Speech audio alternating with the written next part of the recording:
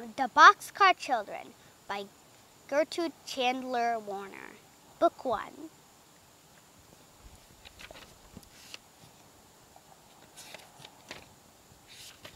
Chapter 1 The Four Hungry Children.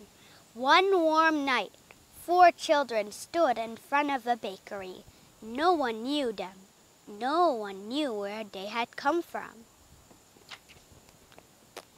The baker's wife saw them first as they stood looking in, in at the window of her store. The little boy was looking at the cakes. The big boy was looking at the loaves of bread, and the two girls were looking at the cookies. Now, the baker's wife did not like children.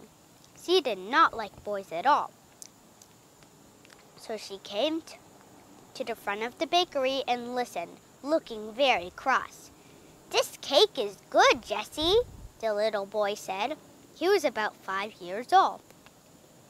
Yes, Benny, said the big girl, but bread is better for you, isn't it, Henry? Oh, yes, said Henry. We must have some bread, and cake is not good for Benny and Violet.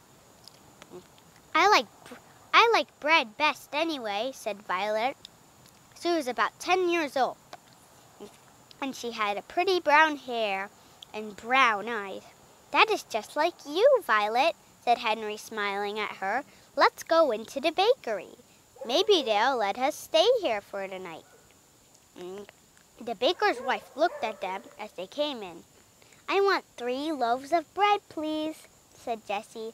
She smiled politely at the woman, but the woman did not smile. She looked at Henry as he put his hand in his pocket for the money. She looked cross, but she sold him the bread.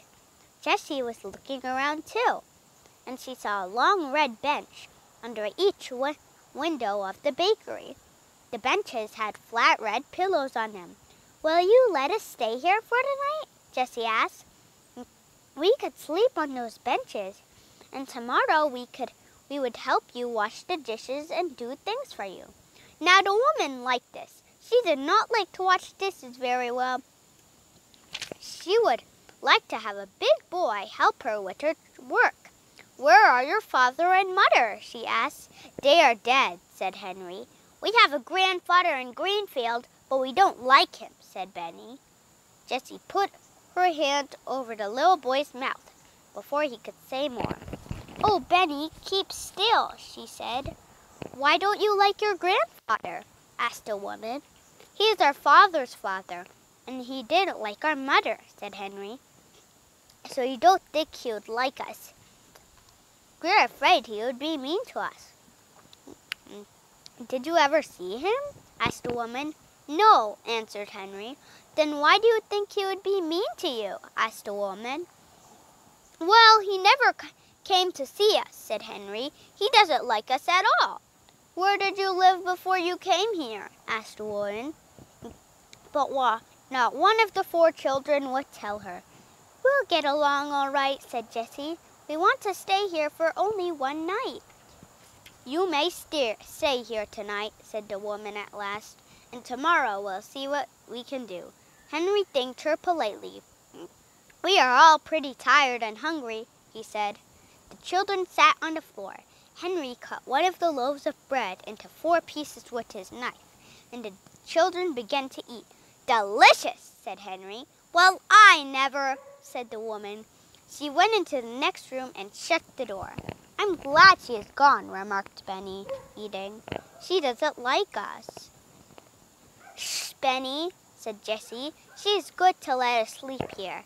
After supper, children lay down on red benches. And Violet and Benny soon went to sleep. But Jessie and Henry could hear the woman talking to the baker. She said, I'll keep the three older children with me. They can help me. But the little boy must go to the children's home. He is too little. I cannot take care of him. The baker answered, Very well. Tomorrow I take I'll take the little boy to the children's home.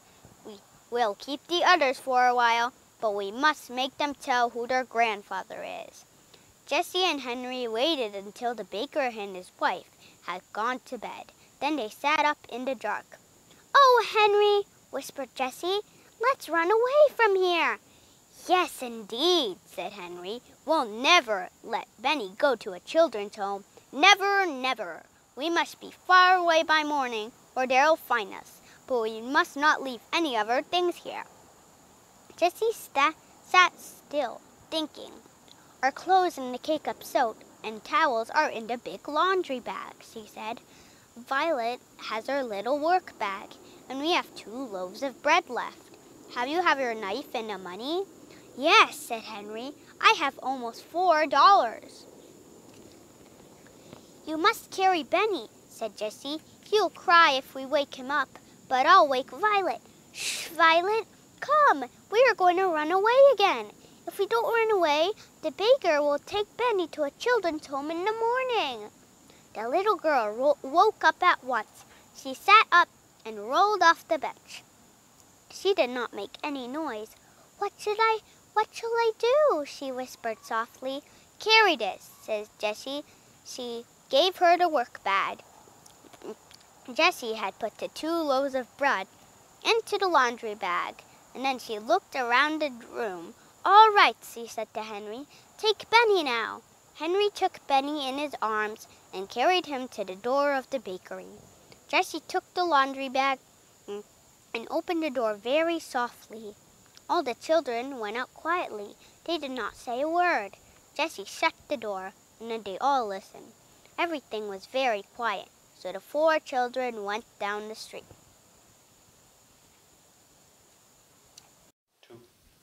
The Boxcar Children, Book 1, Chapter 2 Night is turned into day. Soon the children left the town and came to a road. The big yellow moon was out, and they could see the road very well. We must walk fast, said Henry. I hope the baker and his wife don't wake up and find us gone. They walked down the road as fast as they could. How far can you carry Benny? asked Violet. Oh, I can carry him a long way, replied Henry. But Jessie said, I think we could go faster if we woke him up now. We could take his hand and help him along. Henry stopped and put Benny down. Come, Benny, he said. You must wake up and walk now. Go away, said Benny. Let me try, said Violet. No, Bunny, you can play that. You are a nice that you are a little brown bear and you are running to away to find a nice warm bed. Henry and Jessie will help you, and we'll find a bed. Benny liked being a little brown bear, and so he woke up and opened his eyes. Henry and Jessie took his hand, and they all went on again. They passed some farmhouses, but the houses were dark and quiet. The children did not see anyone. They walked and walked for a long time. Then the red sun began to come up. We must find a place to sleep, said Jessie. I am so tired. Little Benny was asleep, and Henry was carrying him again. The other children began to look for a place. At last Violet said, Look over there. She was pointing at a big haystack in a field near the farmhouse. A fine place that is, Violet, said Henry. See what a big haystack it is. They ran across the field toward the farmhouse. They jumped over a brook, and then they came to the haystack. Henry was still carrying Benny. Jessie began to make a nest in the haystack for Benny, and when they put him into it, he went to sleep again at once. The other children also made nests. Good night, said Henry, laughing. It is good morning, I think. I should think, replied Jessie. We sleep in the day and we walk all night. When it is night again, we'll wake up and walk some more. The children were so tired that they went right to sleep. They slept all day, and it was night again when they woke up. Benny said at once, Oh, Jessie, I'm hungry. I want something to eat. Good old Benny, said Henry. We'll have supper. Jessie took out a loaf of bread and cut it into four pieces. It was soon gone. I want some water, begged Benny. Not now, said Henry. You may have some water when it gets dark. There's a pump near the farmhouse. But if we leave the haystack now, Sybil will see us. When it was dark, the children came out of the haystack and went quietly toward the farmhouse, which was dark and still. Nearby was a pump, and Henry pumped water as quietly as he could. He did not even wake up the hens and chickens. I want a cup, said Benny. No, Benny, whispered Henry. You will have to put your mouth right in the water. You can play that you are a horse. This pleased Benny. Henry pumped and pumped, and at last Benny got all the water he wanted. The water was cold and sweet, and all the children drank. Then they ran across the field toward the road. If we hear anyone, said Jessie, we must hide behind the bushes. Just as he said this, the hill, the children heard a horse and cart coming up the road. Keep very still, Benny, whispered Henry. Don't say a word. The children got behind the bushes as fast as they could, for, for they did not have much time to hide. The horse came nearer and nearer and began to walk up the hill toward them. Then the children could hear a man talking. It was the baker. I wonder where those children went, he said. I don't think they could walk as far as, as Silver City. If we don't find them in Greenfield, we'll go home. Yes, answered his wife. I do not want to find them anyway. I don't like children, but we must try a little while longer. We'll look for them in Greenfield, and that's all. The children watched until the horse and cart had gone down the road. Then they came out from behind the bushes and looked at each other. My, I, I am glad those people didn't, did not see us, said Henry. You're a good boy, Benny, to keep still. We'll not go to Greenfield. I wonder how far it is to Silver City, said Jessie. The children were very happy as they walked along the road. They knew that the baker would not find them. They walked until two o'clock in the morning and then they came to some signs by the side of the road. The moon came up from, from behind the clouds, and Henry could read the signs. One sign said that Greenfield is this way, he said. The other sign points to Silver City. We don't want to go to Greenfield. Let's take this other road to Silver City. They walked for a long time, but they did not see anyone. Not many people come this way, I guess, said Henry. But that is all the better. Listen, said Benny suddenly. I hear something. Listen, said Violet. The children stood still and listened, and they could hear water running. I want a drink of water, Henry, said Benny. Well, let's go on, said Henry, and see where the water is. I'd like a drink too saw the children saw a drinking fountain by the side of the road. Oh, what a fine, fine fountain this is, said Henry, running toward it. See that place for people to drink up high, and a place in the middle for horses, and one for dogs down below. All the children drank some cold water. Now I want to go to bed, said Benny. Jessie laughed. You can go to bed very soon. Henry was looking down at a little side road, which has grass growing in the middle of it. Come, he said. This road goes into the woods. We can sleep in the woods. This is a good place, said Jessie as they walked along. It is far away from people. You can tell that by the grass in the road. And it will be near the drinking fountain, said Violet. That's right, cried Henry. You think of everything, Violet.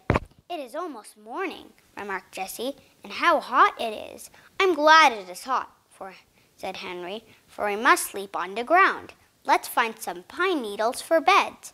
The children went into the woods and soon made four beds of pine needles. I hope it's not going to rain, said Jessie as she lay down. Then she looked up at the sky. It looks like rain, for the moon has gone behind the clouds. She shut her eyes and did not open them again for a long time. More clouds rolled across the sky, and the wind began to blow. There's lightning also and thunder, but the children did not hear it. They're all fast asleep.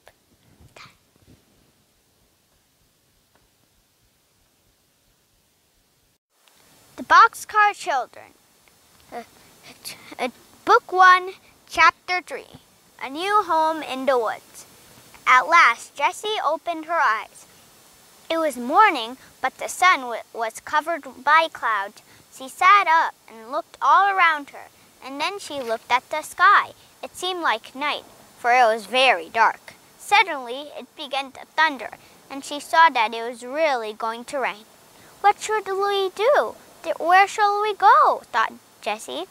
The wind was blowing more and more clouds across the sky, and the lightning was very near. She walked a little way into the woods, looking for a place to go out of the rain. Where should we go? she thought again. Then she saw something ahead of her in the woods. It was an old boxcar. What a good house that will be in the rain, she thought. She ran over to the boxcar. There was no engine, and the track was old and rusty. It was covered with grass and bushes because it had not been used for a long time. It is a boxcar, Jessie said. We can get into it and stay until it stops raining. She ran back as fast as she could to the other children. The sky was black and the wind was blowing very hard. Hurry, hurry, cried Jessie. I have found a good place. Hurry as fast as you can. Henry took Benny's hand and they all ran through the woods after Jessie. It's beginning to rain, cried Henry.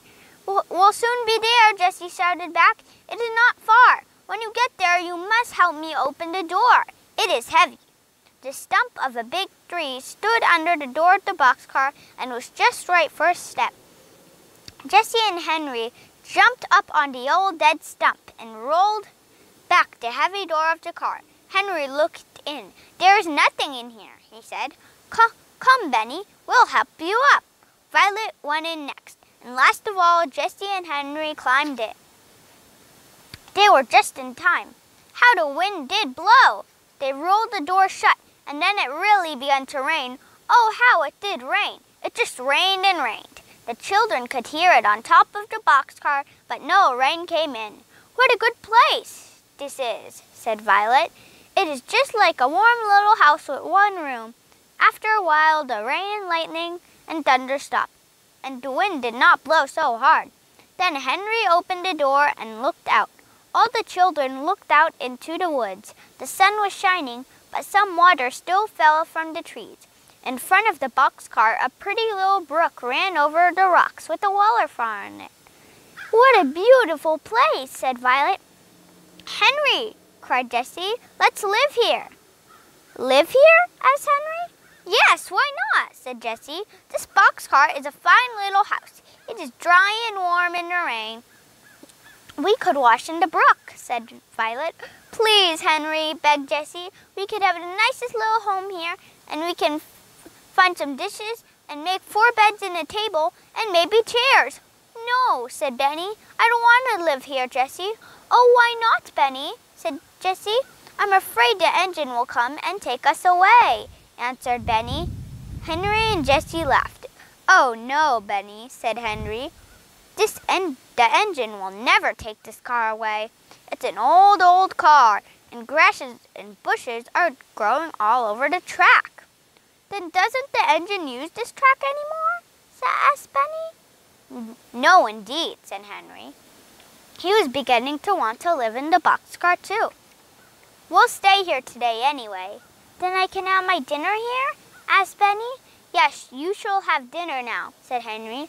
So Jessie took the last loaf of bread and cut it into four pieces, but it was very dry. Benny ate the bread, but soon he began to cry. I want some milk too, Jessie, he begged. He ought to have milk, said Henry. I'll go to the next town and get some. But Henry he not want to start. He looked to see how much money he had. Then he stood thinking. At last he said, I don't want to leave you, you girls alone. Oh, said Jessie, we'll be all right, Henry. We'll have a surprise for you when we come back. You just wait and see. Goodbye, Henry, said Benny. So Henry walked off through the woods.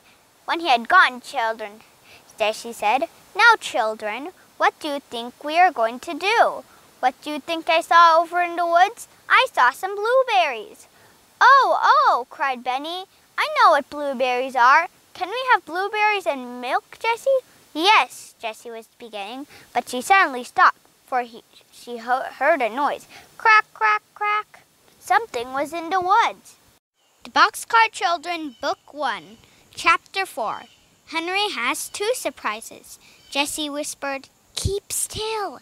The three children did not say a word. They sat quietly in the boxcar, looking at the bushes. I wonder if it's a bear, thought Benny.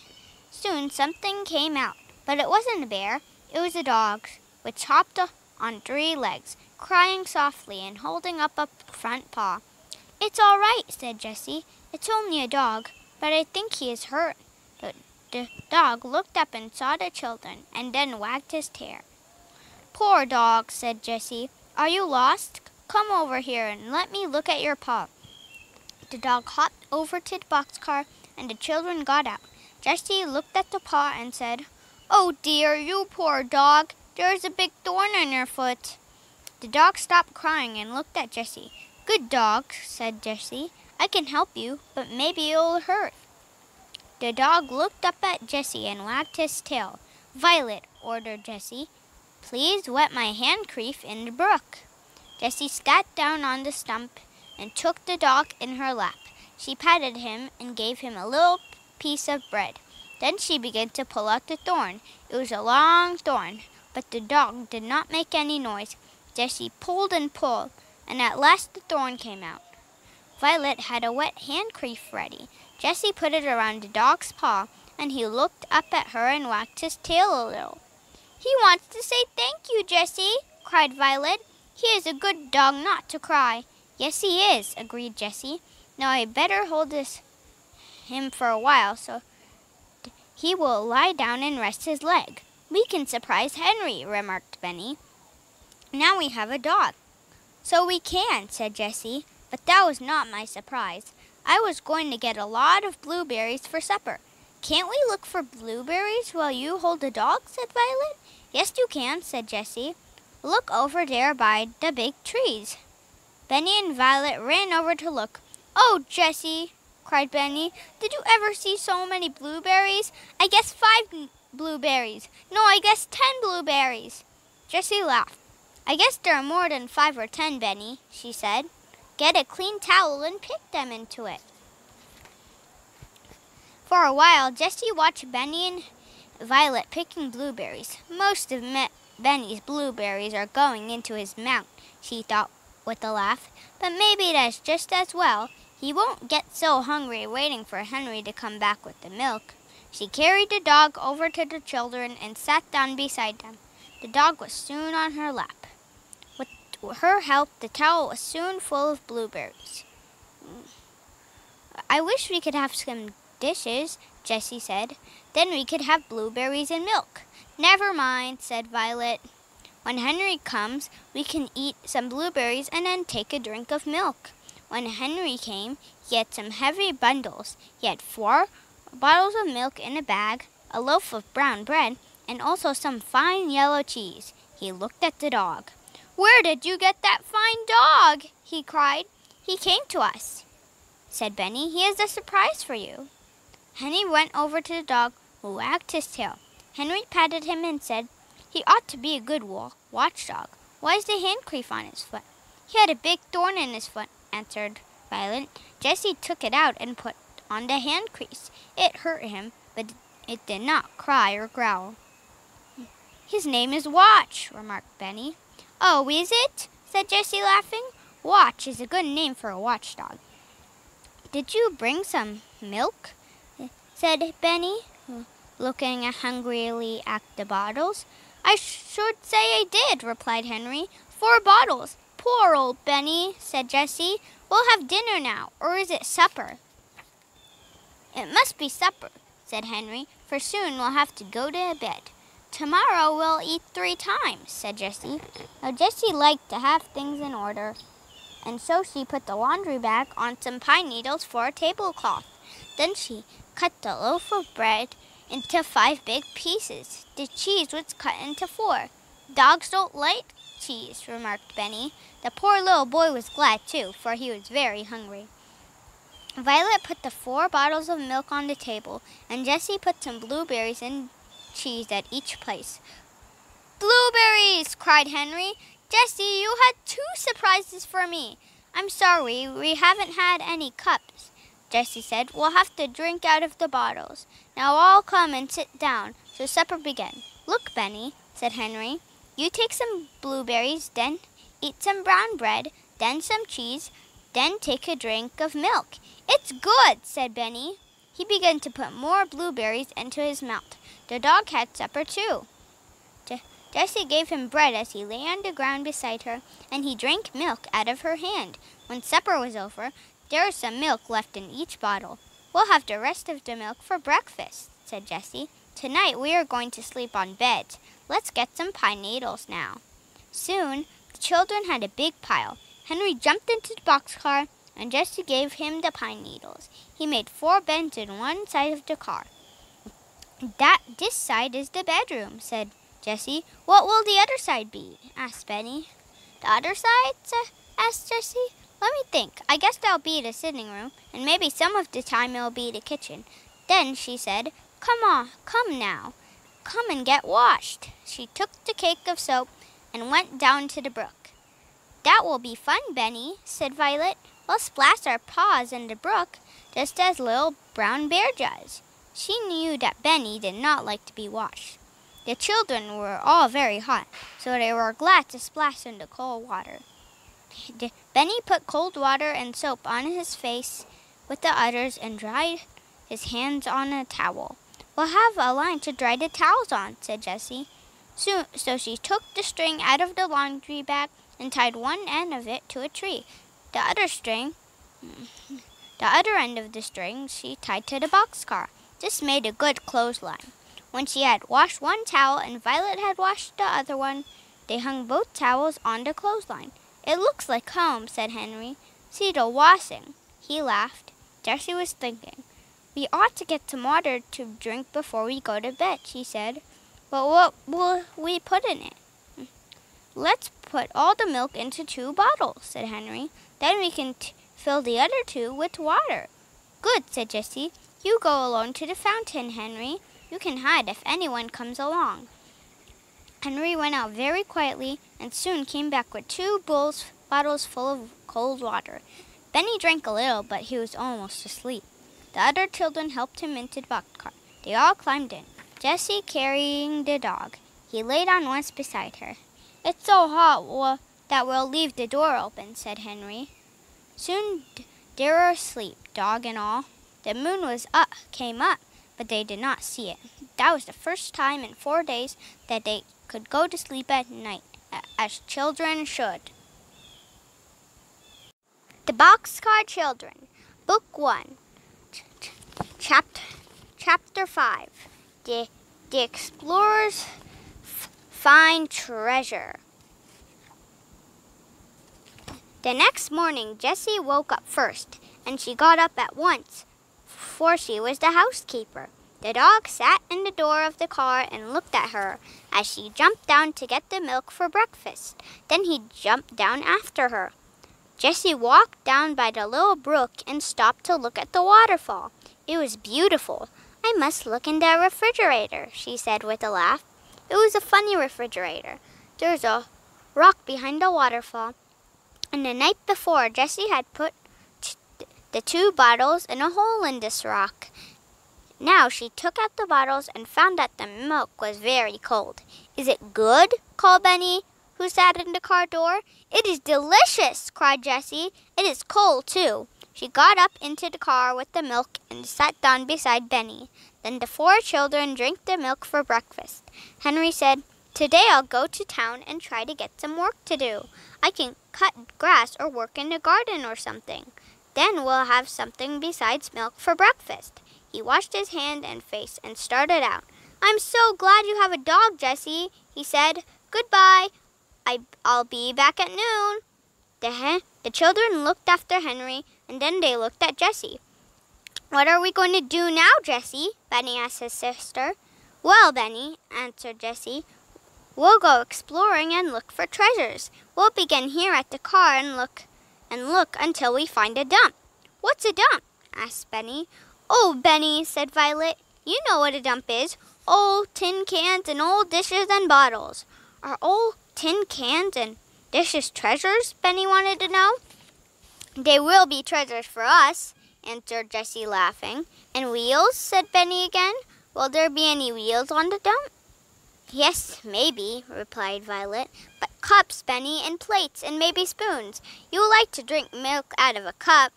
Oh, yes, agreed Benny politely, but anyone could see that his mind was still on wheels. The explorer stopped walking down on the old rusty tracks, with Watch hopping along on three legs. The other paw, still tied up with Jessie's handkerchief, was held off the ground. But the dog looked very happy. He liked these kind children. They all walked along the woods, looking this way and that. After a while, the old, the old track came into the sun, and the explorers found that they were on top of the hill. They could look down and see the town below them. Henry is down there, said Jessie. Benny was walking along behind his two sisters. Suddenly he cried happily, Look, Jessie, there's a treasure, a wheel. They the girls looked where he was pointing, and they saw a big dump with many old bottles and tin cans on it. There are also boat wheels and cups. Indeed, there are dishes of all kinds. Oh, Benny, cried Jessie, you saw the treasures first. What should we do without you? Violet ran over to the dump. Here's a white pitcher, Jessie, she cried. It was all right, with only one small crack. Here's a big white cup, too, she said happily. Can you use a teapot, Jessie? asked Benny. Yes, indeed, she replied. We can put water in it. I've found two cups and a bowl. Let's look for spoons, too. Violet held up what she found five spoons covered with the rust. Good, said Jessie. Here's a big kettle. Let's pile all the dishes in it. Then we can carry them back to the boxcar. Benny had found four wheels just alike and laid them to one side. Now he held up a pink cup. There was a big crack in it, but it had a handle. This will be my pink cup, said Benny. I hope it'll hold milk, said Jessie, laughing. It's a beautiful cup, Benny. The children laid all their treasures, even the wheels on the board, and the girls carried the board back to the car between them. They put the dishes down by the brook now we must wash them, said Jessie. All right, agreed Benny. We'll wash my pink cup. And never did a little boy hand dishes so carefully to his sisters as Benny did. The girls washed the dishes with soap, and Jessie used sand to get the rust off the spoons. There, she said, washing the last shining spoon. How fine they look, but I'm afraid they still aren't clean enough to eat from. When Henry comes, we can get him to build a fire. Then we can have hot water to rinse them, and they will be very clean. The children sat back and admired the dishes. Suddenly, Violet cried, Oh, I know where to put them. Come and see what I found in the car last night. Both girls looked at the door. Uh, uh, look at the door on the other side of the car, said Violet. All Jessie saw were two pieces of wood nailed to the closed door of the car, but she knew at once what was in Violet's mind. She ran to the bo- she ran to get the board they had carried from the dump and laid it carefully across the two pieces of wood. It made a fine shelf for the dishes. There, said Jessie. The children could hardly wait to put the shining dishes on the shelf. Let's put them on now, said Violet, and see how they look, without running to rinse them. When they were on the shelf, Violet picked some white and yellow flowers and put them in a cup full of water in the middle of the shelf. There, said Jessie, stepping back to look at it. You say you said there three times, remarked Benny happily. So I did, replied Jessie, laughing. And I'm going to say it again. She pointed to the, into the woods and said, There! The, Henry was coming through the woods, and he carried many funny looking bundles in his arms but he would not open his bundles or tell what he had been doing until it was time for dinner. Where did you get the dishes? he cried when he saw the shelf. We went exploring, said Violet, and found a big dump. The children began telling him about their treasures. Benny told him about the tin cans and the pink cup and his wheels. Je- Jessie took out the big kettle and asked him about building a fire. We want to use the dishes for, to eat from, she told him, and it's hard to get them clean in cold water. So Henry made a small fire in an open place where it could not burn anything. He put big stones all around it. We ought to have a fireplace, he remarked. Jessie cleaned the kettle with sand and filled it with water. Then Henry put it on the fire. Soon the water was boiling, and Jessie rinsed the dishes carefully. Now I know they're clean enough to eat from, she said happily. Chapter 6 A Queer Noise in the Night at last it was dinner time, and the children sat down to see what Henry had in his bundles.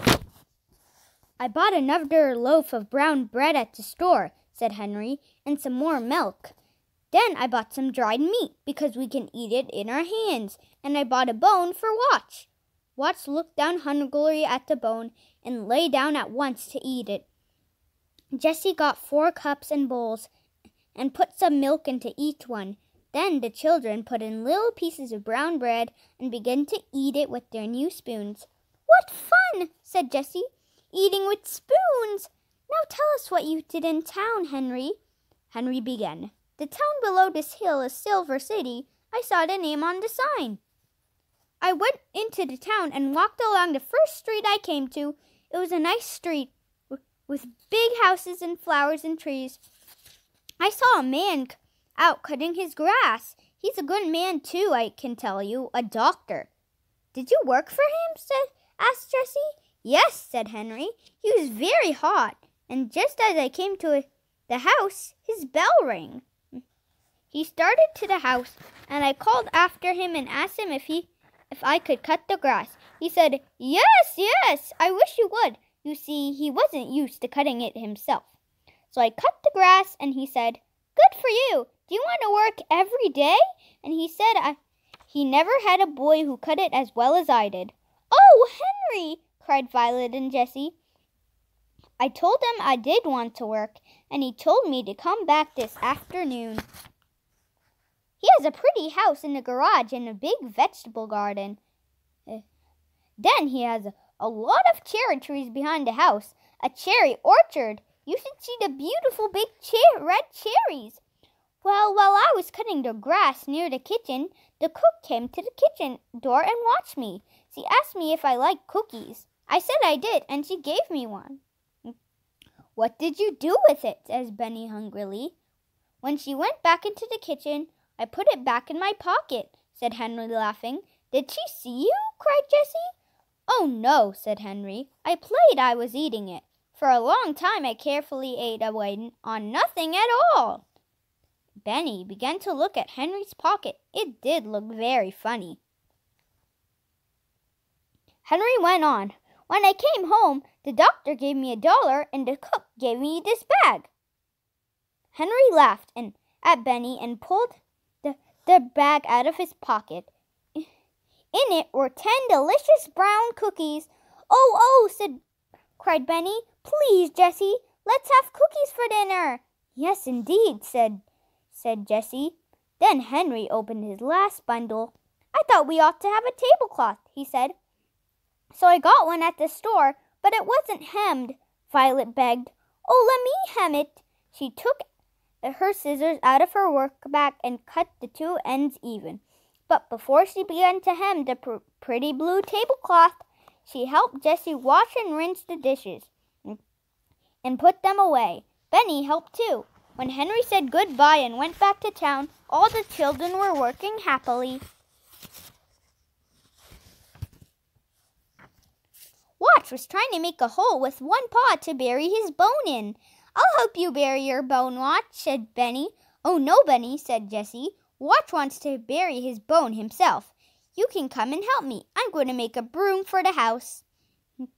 For a little while, Benny ra- ran around finding sticks for the broom but he soon went to sleep on the ground with the dog for a pillow. Then the two girls sat by the brook. Violet was hemming the blue tablecloth, and Jessie was making the broom with a long stick for a handle. When Henry came back at supper time, the brooms with his long handle stood in the kitchen, and the new tablecloth was hemmed. Henry admired the, the broom and the tablecloth. Then he gave Jessie a small bundle. Oh, butter! cried Jessie, her eyes shining. It was butter, yellow and sweet. The four children eh, had not had any butter for many, many days. At last they sat down to their fine supper. Now this spoon is a magic spoon, said Henry. Turn it around and use the handle, and it is a knife. He showed Benny how to put the butter on the brown bread with his magic knife. With dried meat, bread and butter, milk and cookies, the children could not ask for a better supper. What did you do this afternoon, Henry? asked Jessie. Well, I washed the doctor's car, said Henry. Then I washed the walks and the windows. Tomorrow I'm going to work in the garden. Then he looked at the brook. Oh, how, a, how I would love to have a swim in this nice cold water. Henry was hot and sticky as he looked at the waterfall. Maybe we could make a swimming pool, he said. We could build a dam out of logs. Oh, yes, we could, said Jessie. Uh, Violet and I know to, to where to find some logs and some big flat stones. You do? said Henry. Yes, said Jessie. They are not far away, and just a little way below here is a pool now, with sand all around it. But it's not big enough to swim in. Is that so? cried Henry. Some day I'll stay at home, and we'll try to dam up the brook and make a swimming pool. You can have my wheels, said, said Benny. Good, replied Henry. I'll make you a little cart with the wheels, Benny, and you can carry stones in it. Yes, said Benny, I will. Come on now, we must go to bed, said Ch- Jessie. The children were all glad to go to bed. They stood in the stump and climbed into their new house, and they all went to sleep with, but Henry. He was thinking about the new swimming pool. All at once he saw that Watch was not asleep. Henry patted the dog and said, Lie down, Watch. But Watch did not lie down. He began to growl softly. Shh, said Henry to the dog. He sat up. Jessie sat up. What is it? she whispered. I don't know, replied Henry. He was frightened. I don't know, replied Henry. He, he, he. I think Watch hears something in the woods. Let's close the door, said Jessie. I'm afraid. The two the children closed the heavy door softly. Then they sat and listened, but they did not hear anything. Lie down, Watch, said Jessie again. Go to sleep. But Watch did not go to sleep. He growled again. Maybe someone is in the woods. Maybe someone wants to hide in this car, whispered Jessie. Maybe, said Henry. There's something out there that the dog doesn't like. Then they heard a stick crack and Watch bark. Oh, shh!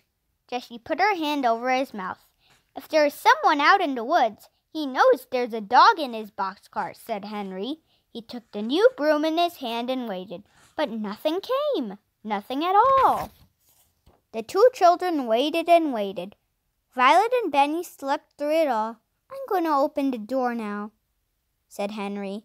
They opened the door softly and then listened. The dog sniffed a little. Then he turned around three times and lay down. He put his head on his paws. It must be all right now, said Henry. Watch knows. Maybe it was just a rabbit. So at last they all went to sleep and slept until morning.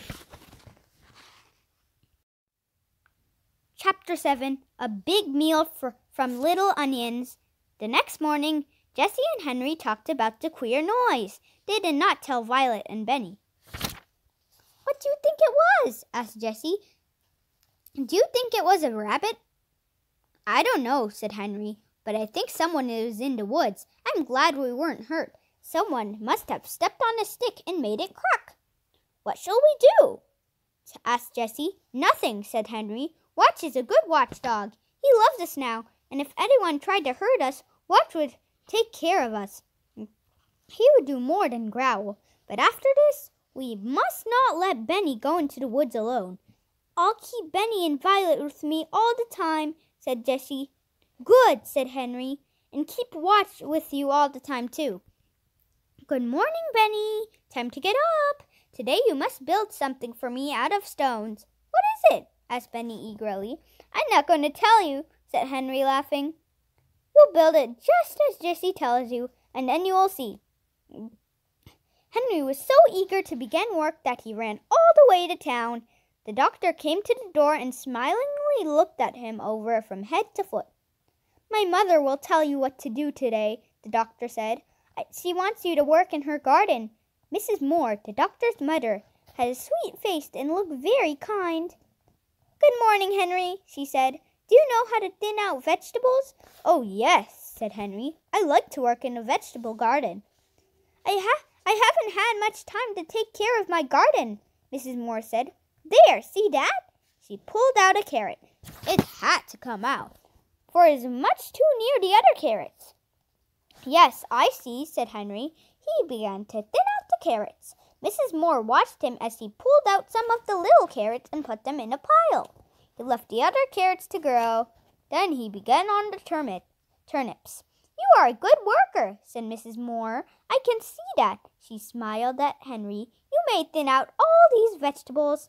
Then she went into the house and left Henry alone. He worked all the morning. He thinned out all the on the oh the carrots, turnips, and little onions. The mill bells rang at noon, but Henry did not hear them. He still worked on in the hot sun. Then he saw Mrs. Moore looking at him. You have worked long enough now, she, she said. You may come again this afternoon. What should I do with all the vegetables I pulled up? Henry asked. Oh, I don't want. Oh, I don't want them, said Mrs. Moore. Just leave them in a pile. do you mind if I take them? asked Henry. No, indeed. Do you have chickens? Then, without waiting for an answer, he went. She went on. You have done good work. Here is a dollar. Henry said thank you and he was glad he did not have to answer about the chickens.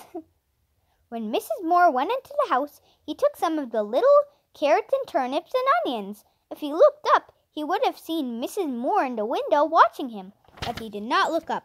He was too eager to get to the store and order some meat. When he arrived at the boxcar, Benny told him, The building is done. I helped with it. The building was a fireplace made out of flat stones. Benny did all the did a lot of the work, said Jessie. He carried stones and found wood for the fire. The fireplace was a good one. The children and Watch had made a hole at the foot of, of a big rock between two trees. Flat stones were laid on the floor of this hole and around the sides.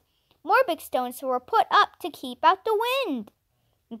Jessie had found a heavy wire in the dump and put the big kettle on it and tied the ends of the wire to two trees. The kettle was hung over the fireplace, and the fire was laid. Beside the fireplace was a big wood pile. Fine, fine, cried Henry. You have done well. Now see what I have. The girls were delighted with the meat and the tiny and the little vegetables. With Henry's knife they cut the meat into little pieces. Then they filled the kettle with water from the fountain and put the meat into it, with a tin plate for a cover. Henry started the fire and it burned well at once. Jessie cut up the tops of the vegetables and washed them in the brook. I'll put them in after the meat has cooked a while, she said. Soon the water began to boil and the stew began to smell good. Watch sat down and looked at it. He sniffed hungrily at it and barked and barked and barked. The children sat around the fireplace eating bread and milk. Now and then Jessie stirred the stew with a big spoon. It will make a good meal, said Henry. Keep it boiling and do not leave it. When I come home tonight, I'll bring you some salt. And whatever you do, don't get on fire. Violet pointed to the pitcher and teapot she, that she had filled with water. That's to put on Benny, or, or watch if he should get on fire, she said. Henry laughed and went happily on his way. He wished he could stay and smell the stew boiling, but he thought he ought to, to work, so he went back to Dr. Moore's house. He was very happy when Dr. Moore said, Do you want to, uh, to clean up this garage? The garage was not in very good order. Dr. Moore laughed when he saw Henry look around for a broom. You, I must uh, go out now, said, said Dr. Moore. You just clean this place up. Henry began at once. First, he opened all the boxes. On the biggest box, he printed the word tools with a long handled brush and a can of paint he found. On another box, he painted nails. Then he picked the, over the things and put the tools in the toolbox and the nails in the nail box. This was fun for Henry because he liked to get things in order. Henry found a lot of nails that were bent and covered with rust. He put them in his pocket. I'll ask the doctor for these bent nails, he said to himself. They're no good to him, but they're fine for me. I can use every old nail I get. Then he washed the floor and washed his paintbrush. When Dr. Moore came home, he found Henry putting brushes, paint cans, and other things on the shelf. My, my, my, my, he cried. He looked at the garage and laughed and laughed and laughed. He laughed until his mother came out to see what he was laughing about. Look, mother, he said, look at those tools. Look at the shelf. Look at my hammers. One, two, three, four hammers. Your hammer, my hammer, and two other hammers. They were all lost. Can you use a hammer, Henry? Yes, I can. I can, cried Henry. Take one, said Dr. Moore. You found them all. Oh, thank you, said Henry. He showed the doctor the bent nails and was told that he could have those too. He could hardly wait to start home because he was so eager to show Benny and his sister his new hammer and nails. Tomorrow will be Sunday, said Dr. Moore. Will you come again the next day? Oh, yes, replied Henry, who had lost all track of the days. The cherries must be picked, said the doctor. He looked at Henry in a queer way. We could use any number of cherry pickers if they're all as careful as you. Could you? said Henry eagerly. Well, I'll come. So the three gets said goodbye, and Henry started for home. He had another dollar, a pocket full of old nails, a hammer, and a pile of vegetables he had left at noon. On the way home, he brought some salt. When he arrived at the on the way home, he brought some salt. When he arrived at the boxcar, he began to smell a delicious smell. Onions! he shouted, running up to the kettle. I do like the smell of onions. I like the turnips best said Violet. Jessie took up the cover carefully and stirred in the salt, and Henry sniffed a brown stew. It was boiling and boiling. A ladle of all things, cried Henry. Where did you get it? I found a tin cup in the dump, said he- Jessie. We used a long stick for a handle and tied it to the cup with a piece of wire. It makes a fine ladle. She ladled out the stew into plates and bowls and put a spoon in each one. Oh, oh, said Benny, I am so hungry. I must eat my supper. The, the, the, meat was well cooked and the vegetables were delicious. Violet passed her plate for more turnips. I'd like some more onions, said Henry. All the children uh, ate until they could eat no more. This that was the best meal I've ever ate, said Jessie. Me too, said Violet. I have time tonight to make Benny's cart, remarked Henry. We'll want a cart. Will you make it with my wheels? asked Benny. Yes, with your wheels, asked Henry. But you must cart stones in it when I get it done. Yes, said Benny. I will cart snow, stones or rocks or anything. Tomorrow will be Sunday, and I can stay at home, Henry went on. Do you think it's all right, Jessie? to build a dam for a swimming pool on Sunday? Yes, I do, said Jessie. We are making the swimming pool so we can keep clean.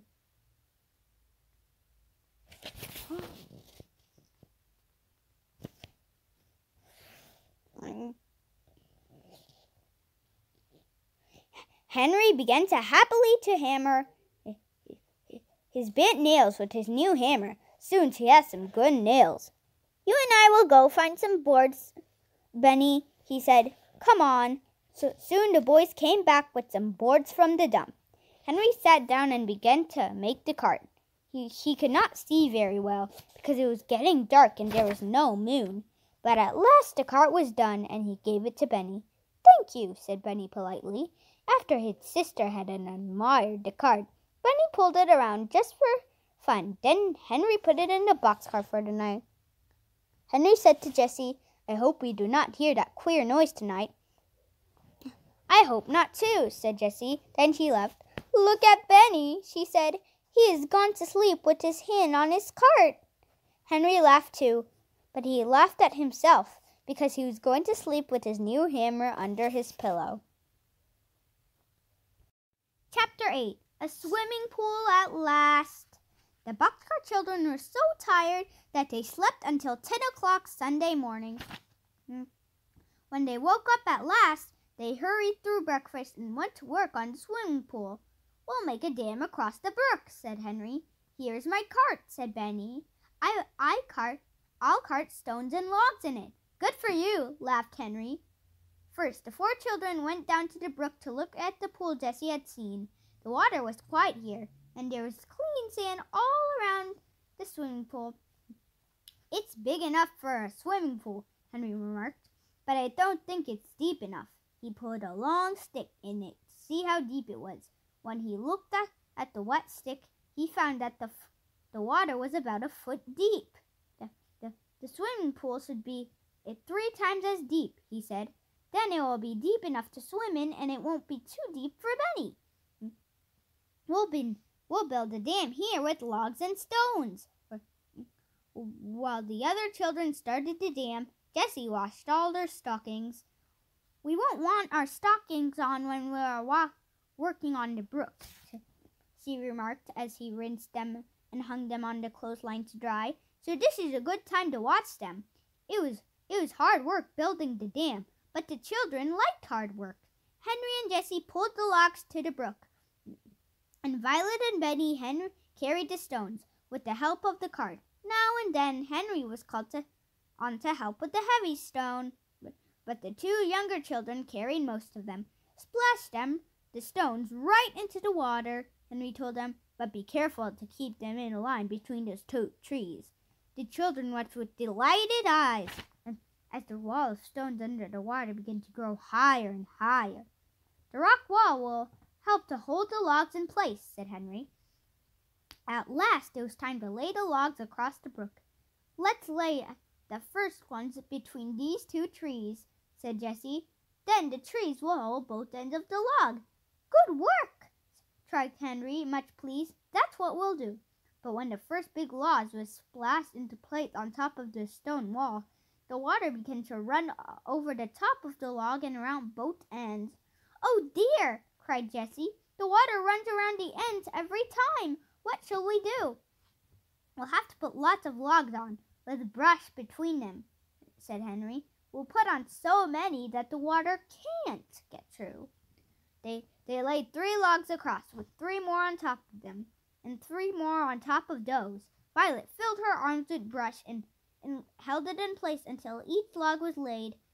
B- Benny filled the holes at the ends of the logs with flat stones. Such wet children were never seen before. But the hot sun would dry them off, and no one cared. When the when the, the three top logs were laid in place at last, the four tired children sat down to watch the pool fill, but Henry could not sit still as the water became higher and higher up the dam. See how deep the pool is getting, he cried. See how still it is. At last the pool was full, full, and the water came over the top of the dam and made another waterfall. Just a, like a mill dam, said Henry. Now the pool is deep enough for all of us to swim in. You boys can have the first swim, said Jessie. We girls must go and get dinner. We'll ring the bell when we're, we are ready. The boys splashed around in the pool while the girls made a fire and hung it the, the kettle of brown stew over it, stirring it now and then. Violet cut the bread and got the butter hard and cold out of the refrigerator. When everything was ready, Jessie rang the dinner bell. This bell was only a tin can from the dump. Jessie had hung it with the tr- on the tree with a string, and she rang it with the spoon. Then she got the ladle and began ladling at the stew. That's the dinner bell, said Benny. I know it is. Come watch. Don't you want some dinner? Watch had a swim too. Mm, he came out of the water and and shook himself. Two boys put on their dry clothes and went to Sunday dinner. Let me ring the bell again, said Benny. I like stew even better today, said Henry, eating hungrily. That's because we we worked so hard, remarked Jessie. Let's go for the walk in the woods mm, this afternoon. Oh, let's! cried Violet. Let's go exploring again. The children washed the dishes and then started on their walk. The, as they went along, Watch began to bark. At first, the explorers were frightened. Oh, what is it? cried Violet. Maybe it's a rabbit, said Henry. Then they saw a Hen running away through the woods. Watch ran after her, but Henry called him back. Don't run after the poor hen, he said. The hen had a nest, remarked Benny. What? said asked Jessie. She had some eggs in it, said Benny. Come here and see. Hmm. Jessie looked on the ground where Benny was pointing and saw a nest with five eggs in it. A runaway hen, said Jessie. She wanted to hide her nest so she would have some chickens. We'll have the eggs for supper. I know how to cook eggs. The eggs made a delicious supper. Jessie put them in a bowl with a little salt, and Violet took a spoon and stirred them as hard as she could.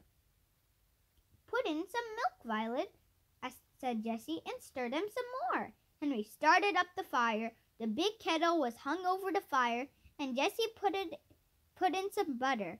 She watched the butter until it was nice and brown, and then she put in the eggs. Sit down, she said. Be all ready to eat when the eggs are done. Violet put the blue tablecloth on the ground. She got the bread and butter and the, and the plates and the spoon, and, and the children all sat ready to, for supper. Here I come, cried Jessie. Hold out your plates. Oh, Jessie, cried Benny, this is the best meal I've ever ate. I found the eggs, and you cooked them. Yes, you did, Benny, said Henry. Thank you for a fine meal.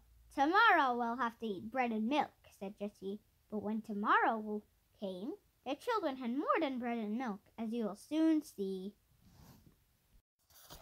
Chapter, uh, chapter 9 Fun in the Cherry Orchard. The next morning, Henry thought and thought about taking the other children to pick cherries with him. At last, he told his sisters about it as they ate bread and milk for breakfast. Dr. Moore said he wanted more children to help. Do you think all of us ought to go, Jessie?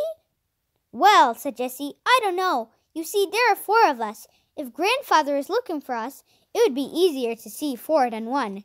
Yes, that's so, answered Henry, but we can go down the hill and go to the streets two by two. Mm. I'll take Benny and you go ahead.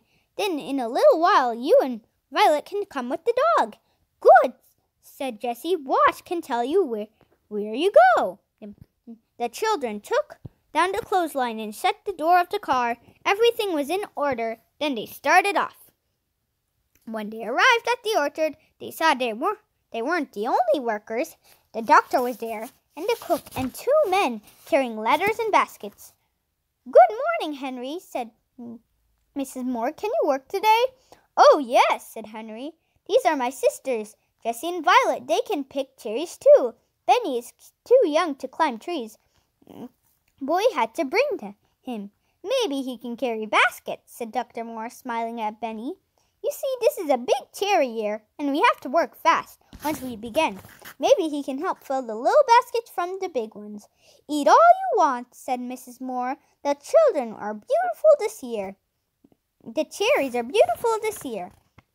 The children didn't eat all they wanted, but every now and then a big red cherry went into somebody's mouth.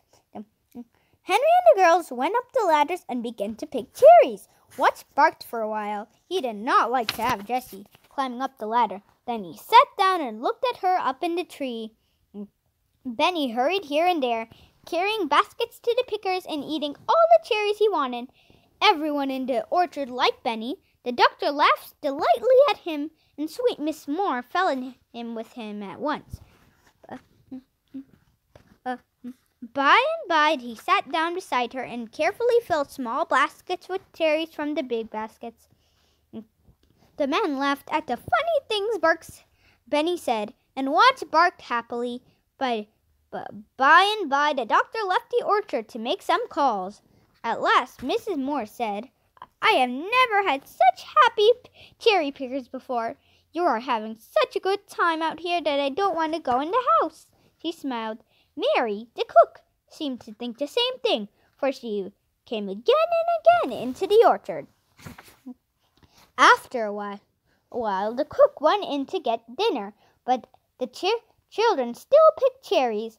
At noon, Dr. Moore came home. You must stay to dinner, he said to the children. We can eat here in the orchard under the trees. Will your mother be watching for you? When he asked this, he looked at Henry in a queer way. Henry did not know what to say, but at last Jessie said, No, our mother and father are dead. Then you must stay, said Mrs. Moore. Here comes Mary. The cook put a table under the trees, and they all sat around it and, they ate a delicious dinner. Then Mary went into the house and came out again with big bowls of cherry dumplings. I can smell something good, cried Benny. It, is it cherries? Yes, my little dear, said Mary.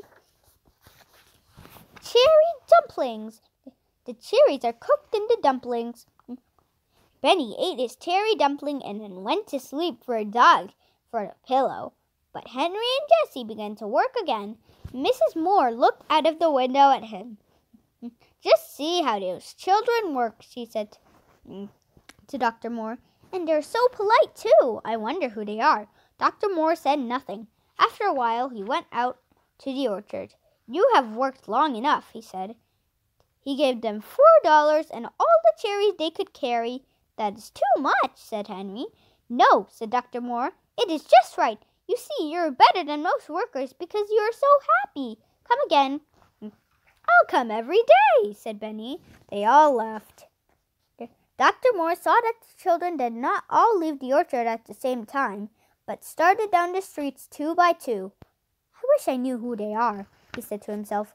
When the cherry pickers got back to their little home, they looked everything over carefully. But things were just as they had left them. The door was still closed, and the milk and butter were in the refrigerator. The children made a happy supper of bread and butter and cherries, and then went to bed in the boxcar. The same night, the Dr. Moore sat reading the paper. All at once he saw the word lost and began to read. Lost. Four children, two boys, and two girls. Somewhere around Greenfield or City, Silver City. $5,000 to anyone who can find them. James Henry Alden. Dr. Moore sat up. Five thousand dollars, he said. James Henry Alden. Oh my, oh my. He sat still to himself for a long time, thinking and laughing to himself. Those four children are living in a boxcar, but I should not tell Mr. Alden what there is for children, he said. Chapter 10 Henry and the Free for All. James Henry Alden was a very rich man. His big mills stood just between Greenfield and Silver City. Now, James Henry Alden liked boys he liked to see them running and jumping and play.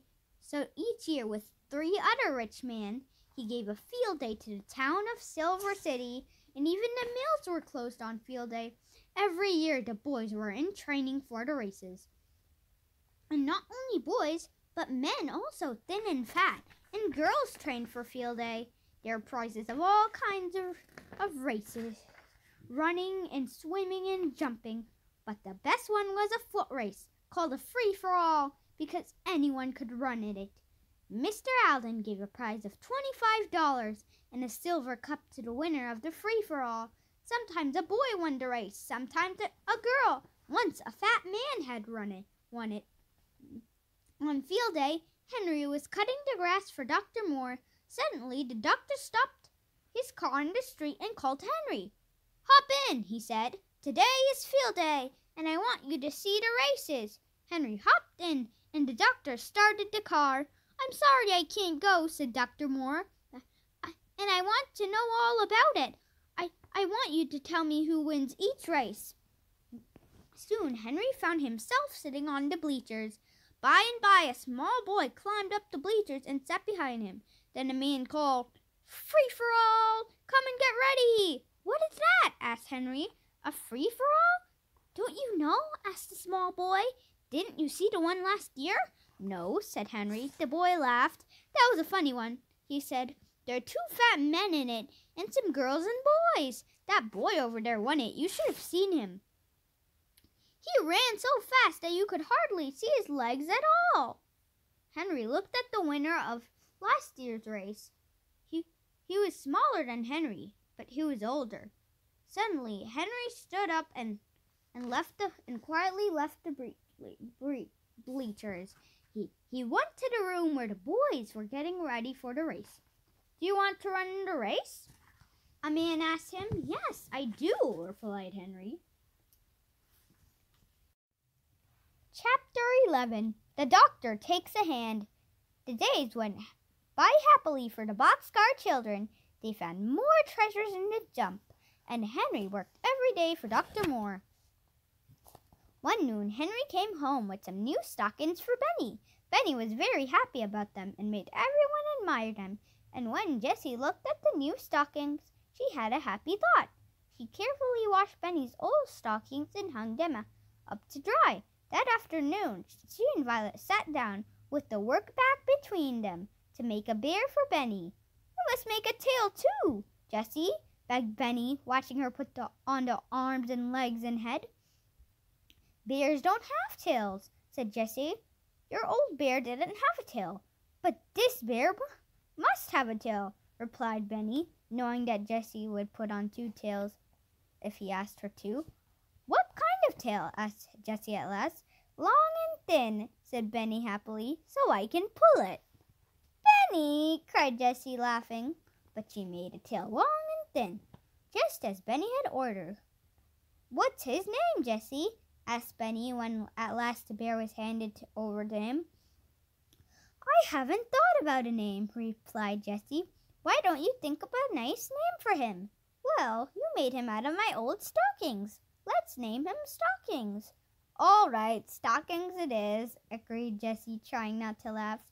And from that day on, the bear's name was Stockings as long as he lived, and he lived to be a very old bear indeed. One afternoon, Jessie saw how long Benny's hair was getting, and she cut it with violet scissors. Benny stood quietly while she did it, but while his sisters were getting supper, he said to himself, Jessie cut my hair. I'll get violet scissors and cut Watch's hair. He will look better. He found violet scissors and made Watch lie down on his side. Then he began to cut the hair off. Benny said, Good dog, Watch. You are Jessie's dog, so I will cut a J in your hair. Hold still now. Watch lay still, and Benny began to cut a J. It was not a very good J, but it looked a little like one. Soon Benny cut off all the hair on one side, with a J in the middle. He stood admiring his work, then Jessie came to see what he was doing. Benny, she cried, what are you doing? Then she began to laugh. Oh, Violet, come and see, she called. What look so funny? Jessie laughed and laughed and laughed until she almost cried. Violet laughed until she did cry. Then she could not stop crying. She cried and cried. At last, Jessie made up her mind that Violet was very sick. You must go, mm, go to bed, Violet, she said. She put, helped her carefully into the boxcar and put pine needles all around her and under her. Then she wet a handkerchief in the cold water of the brook and laid it on her little sister's hot head. I wish Henry could come home, said Jessie. What shall we do? When Henry came at last, he looked at Violet and, she, and she said maybe she had a cold. Maybe she sat too long by the brook, he said. If Violet is very sick, she ought to go to the hospital, said Jessie. Yes, I know that, said Henry. And we don't want her to go to a hospital if we can help it. We should have to tell her name. Yes, said Jessie. Then grandfather could find us. The two older children sat up with Violet. They put cold water on her head. But after, but, uh, but after dark, Violet shook all over, and Jessie was frightened. She she covered Violet all over with pine needles, but she still shook. They could not get her more. I'm going to get Dr. Moore, said Henry. I'm afraid Violet is very sick. Then Henry started to run. He ran even faster than he had run in the race. Down the hill, down into the town he ran until he came to Dr. Moore's house. Please come, he cried. Violet is very sick. The doctor said, Come and get into my car. He did not ask Henry which way to go, but the car went up the right road. When they came to the woods, he said to Henry, Stay here in the car. He ran alone up the hill to the box car. It seemed like magic that he knew where to go. When Dr. Moore came back, he was carrying Violet in his arms. Jessie and Benny Watch came too. They all got into the car. Are you going to take her to a, a hospital? asked Henry. No, said Dr. Moore. I am taking her to my house. When she stopped at last, Dr. Moore carefully carried Violet into the house and said to his mother, Violet is very sick. We must put her to bed. Mrs. Moore hurried around, opening beds and bringing pillows, and Mary came from the kitchen with hot water bottles. After a while, Violet began to get warm. Then Mrs. Moore came to get the other children. You must stay here all night, she said. She gave Henry and Benny a big bed, and Jessie slept in a little one. But Violet was so sick that the doctor did not go to bed all night. He would not leave her. He sat by her side until ten o'clock in the morning. Before ten o'clock, a man came to see the doctor. Mary told him he could wait, so he sat down in the living room. Soon Benny came in. Where is the doctor? asked the man crossly. He is he is up in Violet's room, answered Benny. That means five thousand dollars to him if he won't come down, said the man. Oh, he can't come now, said Benny. What do you mean, boy? asked the man. What is he doing? He's taking care of my sister Violet, said Benny. She is sick. And you mean he wouldn't leave her if, if I gave him five thousand dollars? asked the man. Yes, answered Benny. That's what I mean. Then the man says, You see, I have lost a little boy, and I think the doctor knows where he is. My little boy is just about as old as you are. Well, if you don't find him, maybe you can have me, remarked Benny. I like you. You do? cried the man. Come and get up in my lap. Benny climbed into the man's lap. Heh, heh. Have you got a dog? he asked. No, said the man. He is dead now, but you can see him in my wash. Here it is. Benny looked at the dog. He looked like a very good dog, he said. I have a dog too. His name is Watch. Just then Watch came in with Dr. Moore. Good morning, said Dr. Moore. Benny, you can go and play with Watch. Benny ran out, and the man said, Dr. Moore, where are my grandchildren? That little boy is one of them, said Dr. Moore quietly. That beautiful little boy? said the man. Yes, said Dr. Moore. They are all very good children, but they are afraid of you. They are afraid you will find them. How do you know that? asked the man. They have changed their name, said the doctor. He looked at, at the man in a queer way. The big boy changed his name on field day. You saw him. I saw him? What did he change his name to? asked the man. Henry James, said the doctor. The running boy, cried the man. The boy who won the free for all. I like that boy, so I am his grandfather.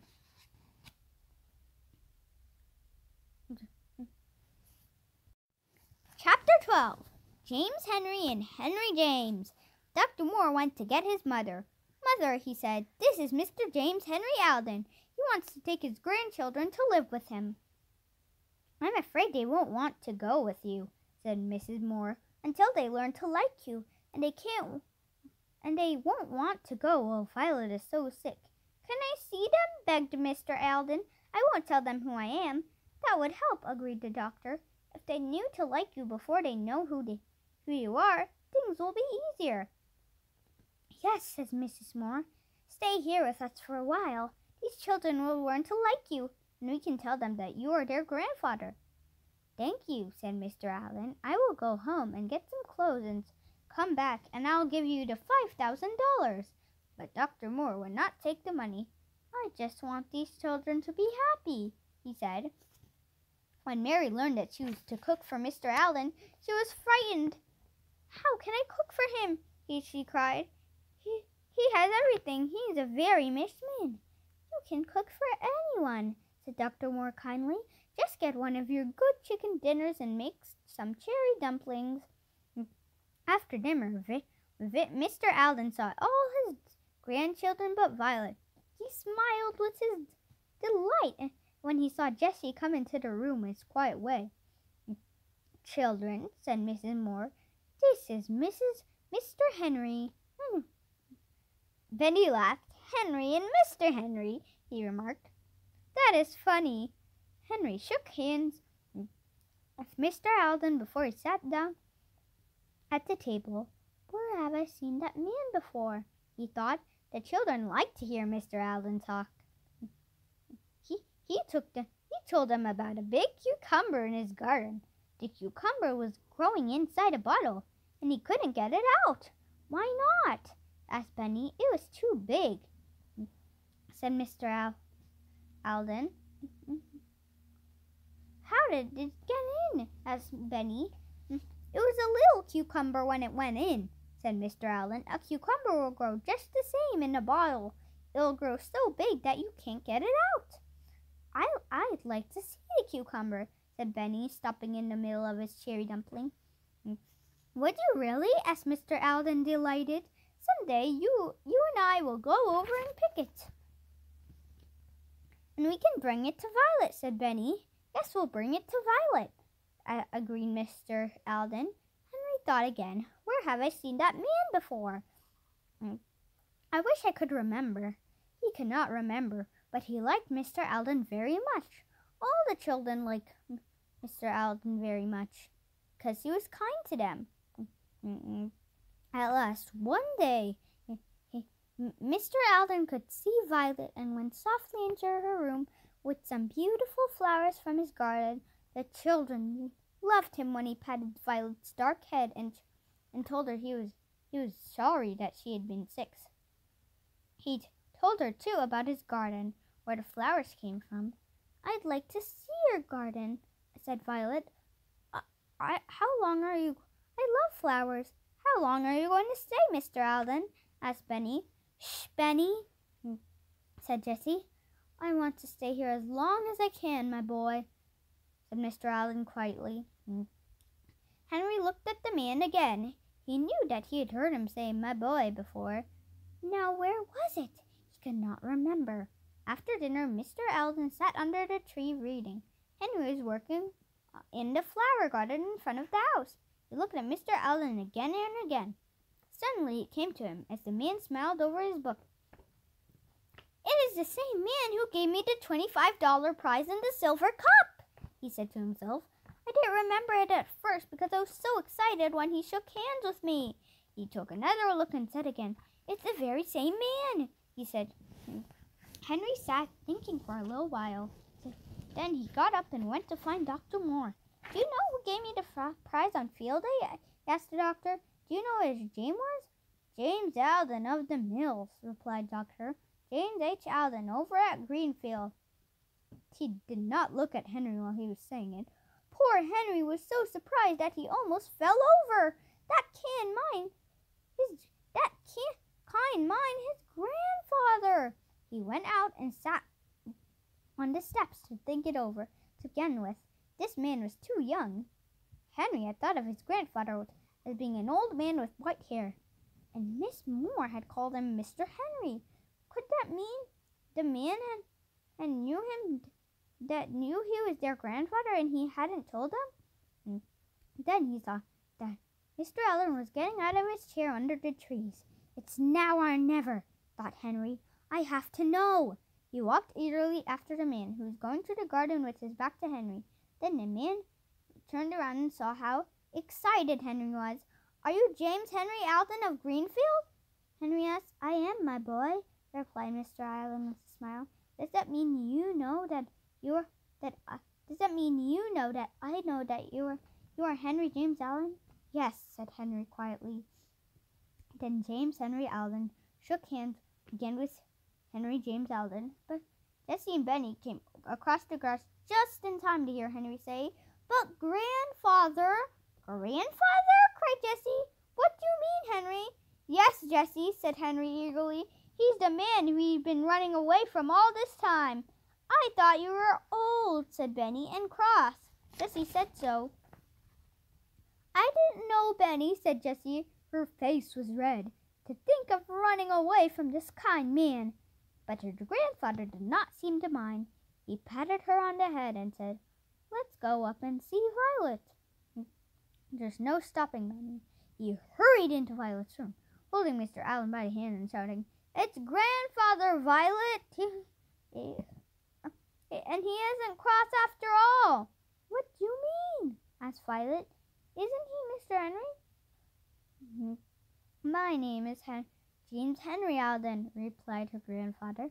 And my name is Henry James Alden, cried Henry. Well, well, said Dr. Moore. Violet held out her grandfather's hand and listened to Russ talking excited. Where have you been living? asked Mr. Alden at last. They looked at all each other, Doctor, even Dr. Moore and his mother. Then they all laughed and they never stopped.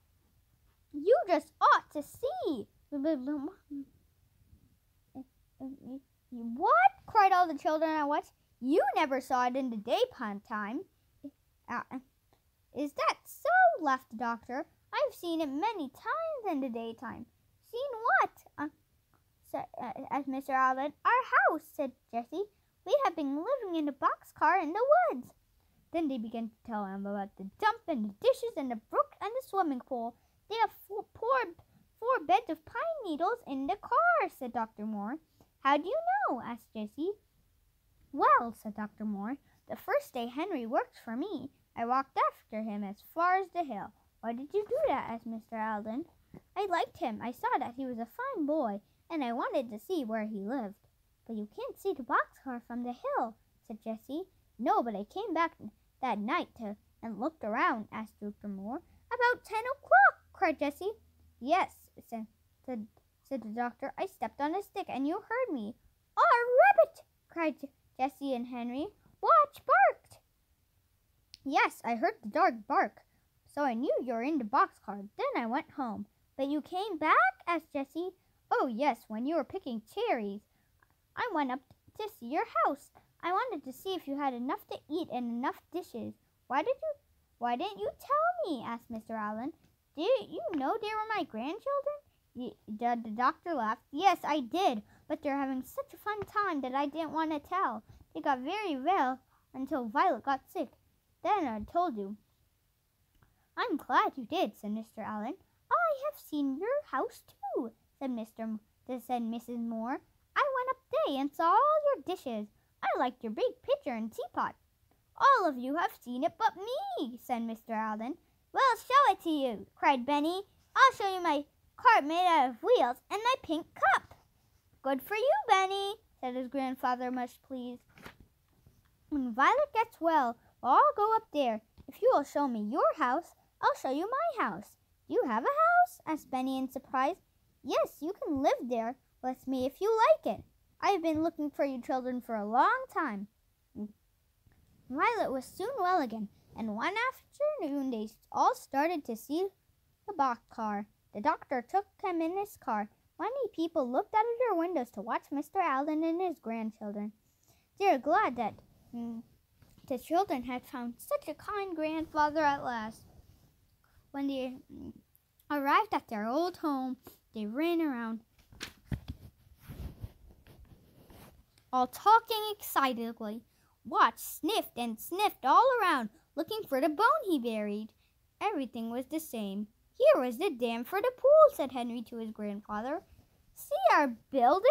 shouted Benny, for that was what he called the fireplace. It really burns, too. And this is the refrigerator in the waterfall. And here's my pink cup. They all stepped on the stump and climbed into the car. They looked at the four beds and the dishes.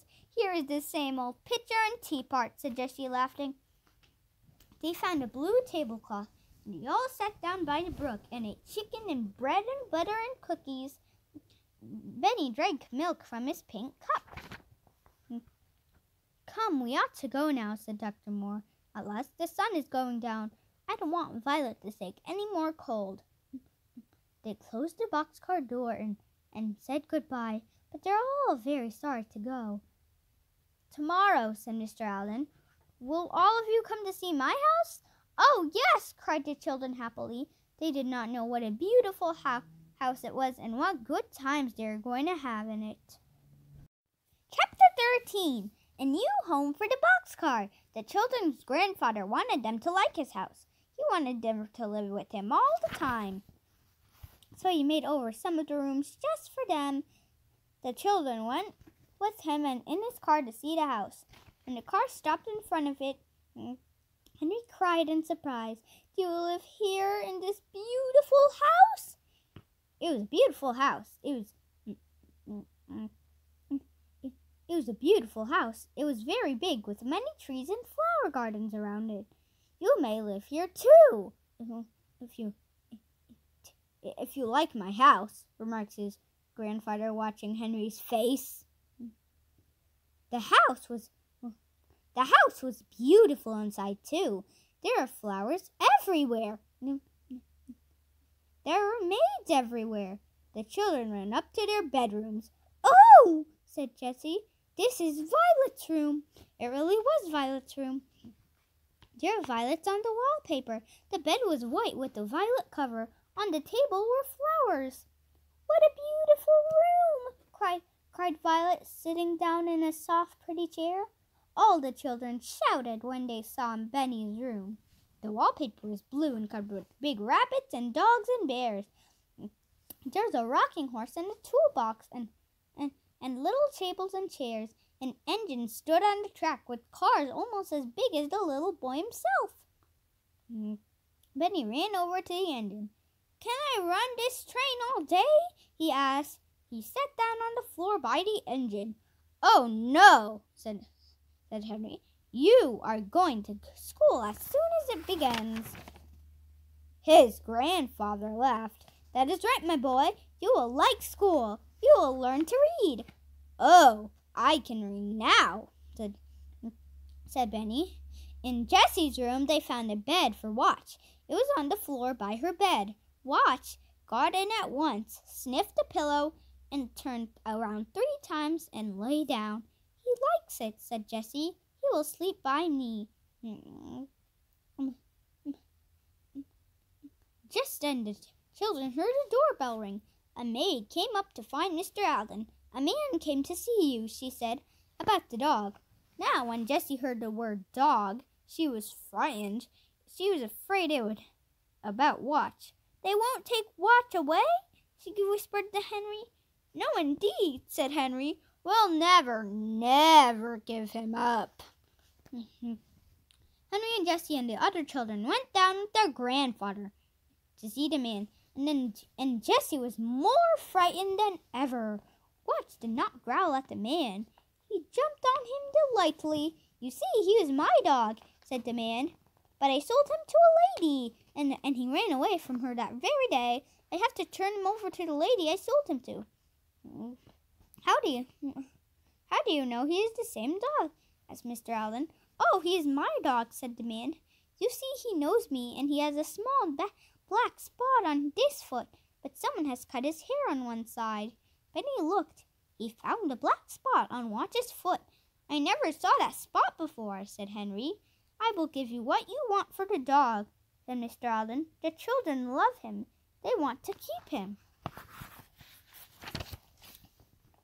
But I sold him to a lady, said the man. I must take the dog to her. Then Henry said, Maybe she'll want to change to another dog when she sees his hair. If he, if you will agree to, to take another dog, will you have my grandfather have this one? yes, I will, said the man. Let's go and ask her, grandfather, said Benny. Mm. She will let Jessie have Watch. She is her dog. He is her dog. She took the thorn out of his foot. The man told Mr. Alden where the lady lived, and they all started to find her. Hmm. She was a pr- very pretty one lady, and she asked him to sit down, but Benny could not. He not wait. Hmm. He said, "Please let us keep Watch. I want him, and and Jessie wants him, and we didn't know he was your dog." What do you mean? asked the lady, laughing. Who is Watch? This dog is Watch, answered Hen- answered Henry.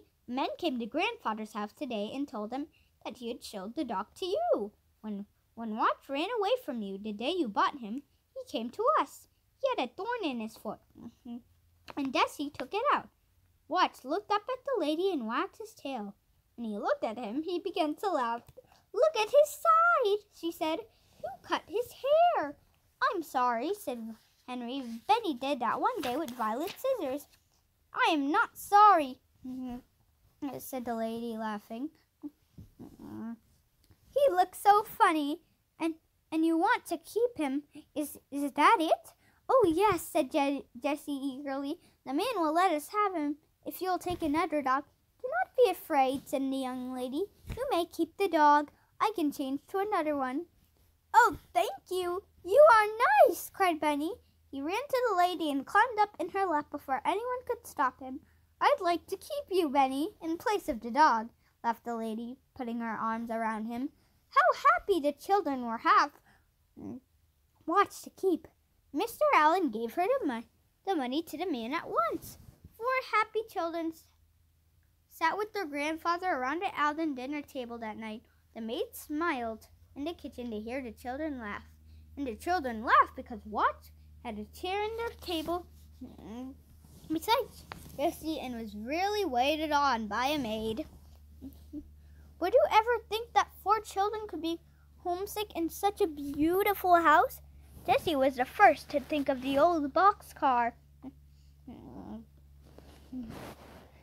One day she said, Oh, grandfather, I'd like to cook something once more in dear old kettle in the woods. Go out in the kitchen, my dear, said her grandfather. The maids will help you. You can cook all you want to. Jessie liked this, but it was not like in the old days in the bar car.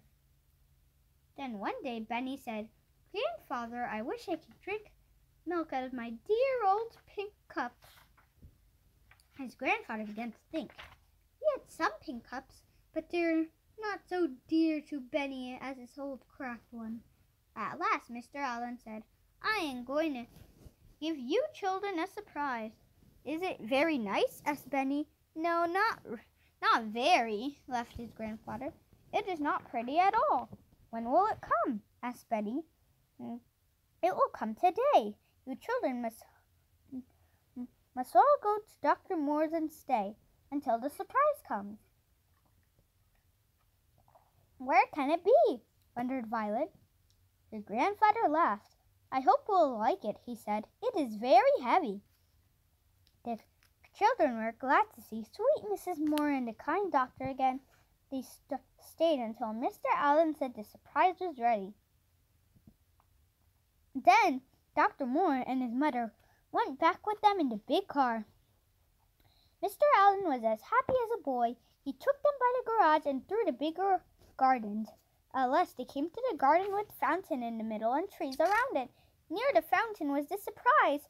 It was the old box car. The children ran over to it with cries of delight, opening the door and climb in. All the things were in place. Even the old dead stump was there to step on. Here was the old knife with, with us cut butter and bread and vegetables and firewood and string. Here was Benny Bi- Benny's pink cup, and here was his bed. Here was the big kettle, kettle and the blue tablecloth. Here was the pitcher and the old teapot. And here was the dinner bell which the children had made from an old tin, can. Benny hung it on the tree with a string and rang it and rang it over and over and over again with a spoon. Watch rolled on the floor of the car and barked and barked. Then he began to sniff at everything. He's looking for the bone he buried, laughed Benny. How they love the old boxcar, said Mrs. Moore. Mm, mm. Eh, I'd like to see them so happy. Thank you for the surprise, Grandfather, said Violet. We'll never go away from you again. I hope not, my dear, said Mr. Alden, or I'll live happily ever after. And so they did. Thank you for listening to The Boxcar Children, Book 1.